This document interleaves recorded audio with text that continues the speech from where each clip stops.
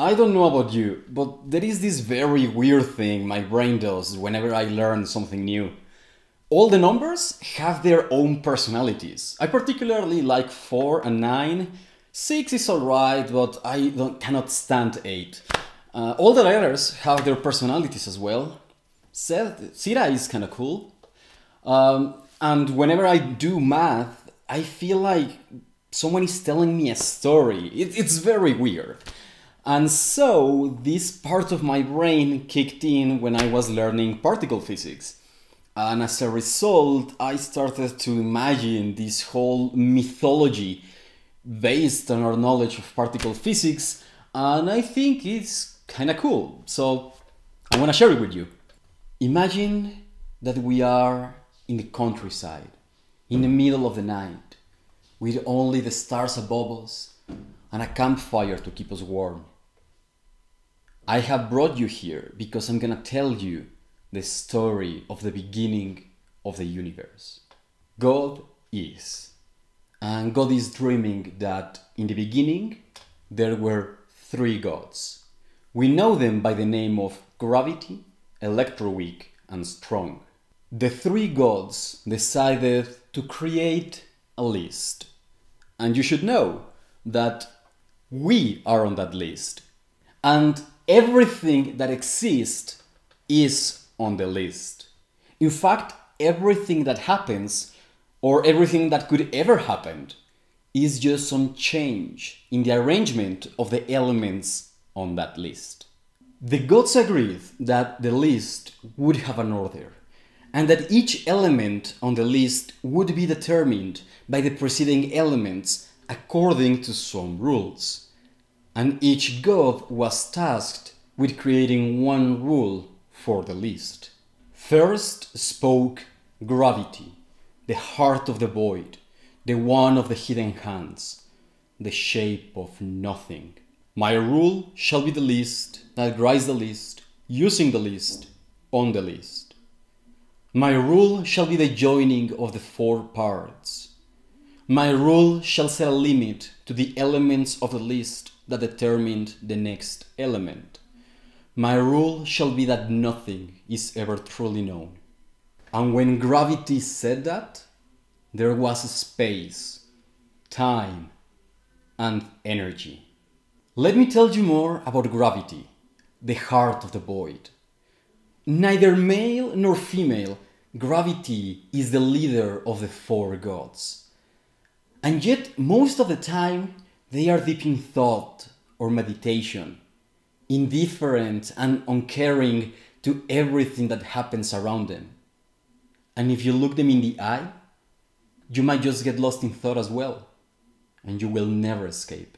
You should also know that we have never seen the hands of gravity. We don't even know if they have hands. That's why we call them the one of the hidden hands. But then you might wonder how does gravity enforce its will on the list? Well, they created the Gamma Angels. Gamma Zero, the Archangel of the Void. Gamma 1, the Valiant one. Gamma 2, the Daring one. And Gamma 3, the Confident one. The Gamma Angels carry the wheel of the heart of the void, and they make sure that everything obeys it. They are the reason that everything is made out of four parts.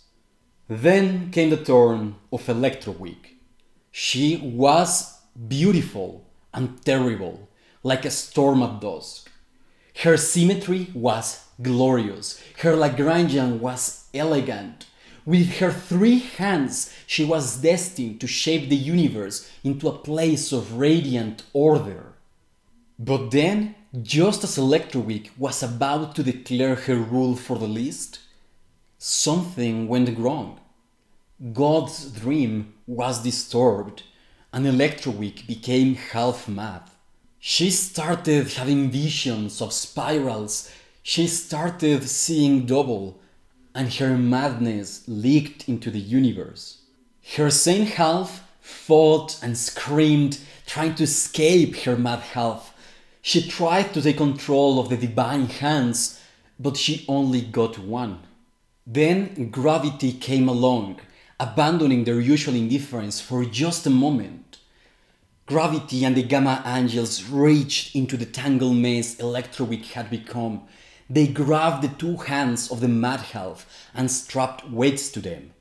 The weights were so heavy that the Mad Half could barely move her hands, and only then was the Sane Half able to escape, just to find that her failure was even worse than she had thought.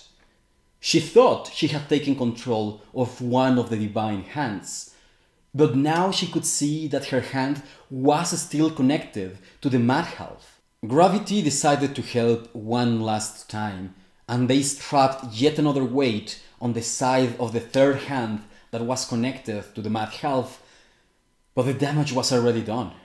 It was terrible. It was a disaster. Of three divine hands, two had become practically useless now strapped with weights and connected to a mad goddess.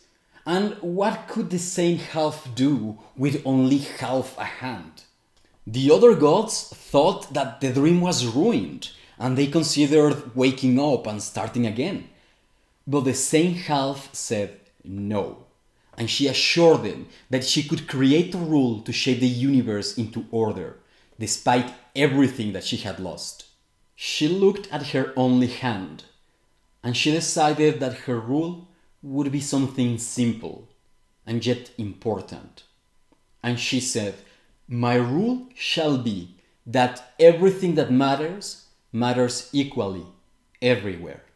And when she said that, there was light. With her one hand, she reaches everywhere and everything. With her one hand, she moves the universe she creates atoms, she arranges molecules, she allows for life. And looking at all these things, she smiles, for she's proud of her role in the universe and the madness she has to overcome. Her hand is Photon, and her name is electromagnetism, EM, the lady of invariance, the one who reaches, the clever one and she is the de facto leader of the four gods, since gravity is so indifferent most of the time. However, I don't want to give you the impression that Electroweak is gone. She still exists. She has simply become not a trinity, but a duality. Two goddesses in one. A single being that casts two shadows. A vector made out of two components. Oddly enough, EM decided to become a duality as well, although willingly this time. No one knows why she did this. I think she's still a little crazy. Her two manifestations are electricity and magnetism. Electricity is calm and sure of herself. She wants to be like gravity. Magnetism runs around all the time, singing loudly and smiling. Sometimes we might see one or the other but often they work together, and when they do, we can see the Lady of Invariance in all her glory. And in those moments, it's easy to forget the crisis of the madness and the splitting of the goddess. But the clues are still there, if you know where to look. With all this drama, I haven't even told you about the mad half of Electroweak. Her name is Week, but don't let the name fool you. She's everything but weak. She's the breaker of mirrors, the lady of spirals, the mad one. And she too made a rule for the list. My rule is that one is two, except when it isn't.